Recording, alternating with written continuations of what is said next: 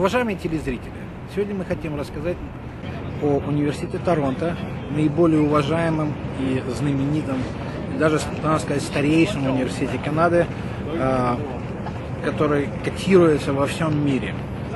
Для того, чтобы поступить а, в этот университет, вам нужно 10 тысяч долларов, это обучение в год. Потом нужно сдать экзамен по английскому языку, TOEFL, который показывает, насколько вы э, способны э, говорить на английском языке и учиться, естественно. И одновременно вы должны подать документы за 12-18 месяцев, которые позволят вам получить студенческую визу. По окончании университета у вас есть возможность остаться на год работать здесь, и, как правило, все используют этот год для того, чтобы иммигрировать. Специально из Торонто, телеканал «Земляки», Игорь Черников.